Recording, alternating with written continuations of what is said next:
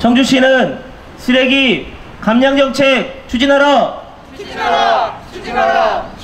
청주 충북 환경운동연합은 23일 오전 청주시청 앞에서 기자회견을 열고 시의 쓰레기 감량 정책을 조속히 마련하라고 촉구했습니다.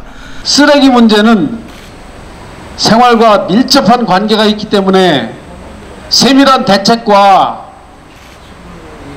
또 활동을 통해서 시민들이 조금이라도 불편하지 않도록 해야 되는 것이 한범덕 청주시장님을 비롯한 우리 청주시 공무원들의 임무라고 생각을 합니다. 그리고 지금 이야기되고 있는 것은 도대체 쓰레기를 수집, 운반, 소각하는 과정에서 왜 청주시는 국민의 혈세를 낭비하는 그런 오해를 살만한 그런 행정을 펼치고 있는가 하는 것이 논란의 핵심입니다. 환경단은 시가 올해까지 최근 2년간 광역 소각장의 소각량을 하루 331톤에서 303톤으로 28톤이나 줄이면서도 민간 소각업체의 소각 비용으로 지불한 최근 3년간 비용은 2018년 26억 원에서 2020년 70억 원으로 44억 원이나 늘어 민간 업체의 소각량을 몰아주는 것은 아닌지 의혹마저 든다고 지적했습니다.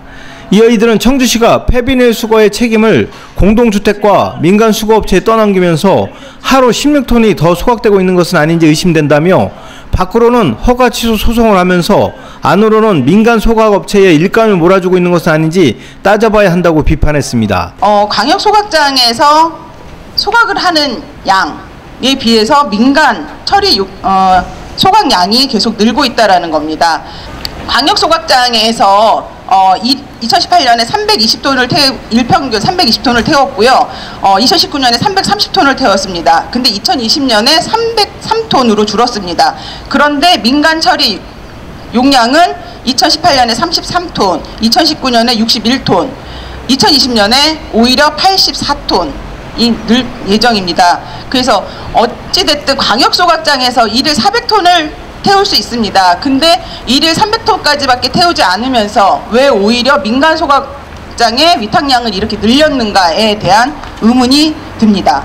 1년 단위 민간 소각업체에 지불한 처리 비용이 나옵니다. 2018년에 26억 5천 정도 지불했습니다. 2019년 4억 49억 거의 50억 가까이 지불했고요.